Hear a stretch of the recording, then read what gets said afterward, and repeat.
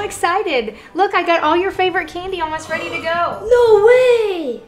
Brack, remember, giving is a gift that few can enjoy. Whatever.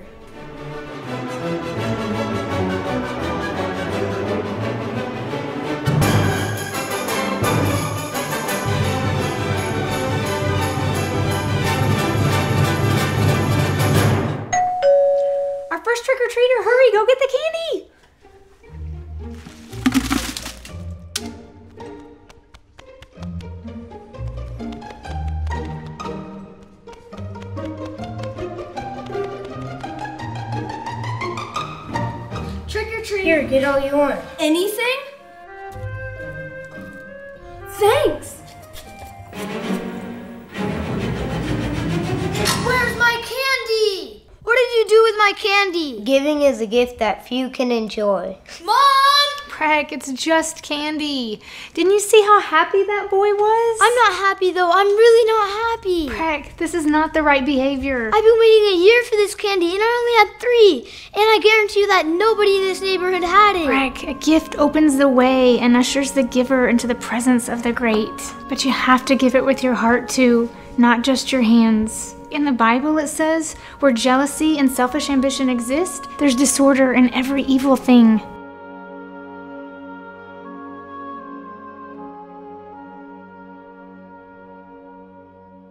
Dear God, please forgive me for being so selfish with my candy, and whoever got it, please let them enjoy it. And I'm sorry, and please forgive me. Amen.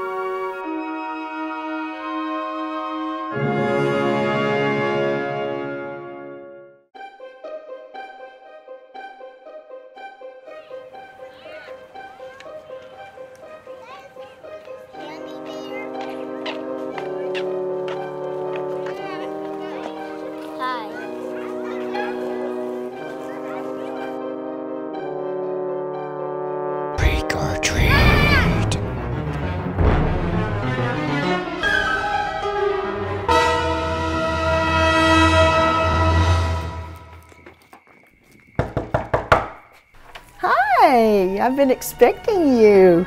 You know what? I have your very special candy bar because I understand that's your favorite. And you know what else I have?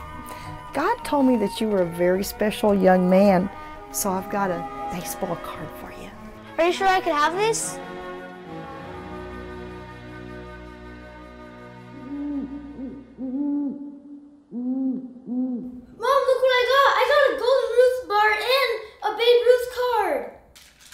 Wow, Breck, this is amazing.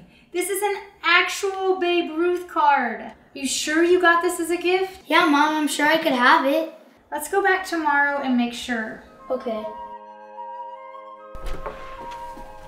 Hello. Hi. My son came by here last night trick or treating and he said someone gave him this card. I, I just want to make sure it's okay. It looks pretty valuable. Wow, I haven't seen this in over 20 years since my Aunt Jessie passed away and we sold her collection.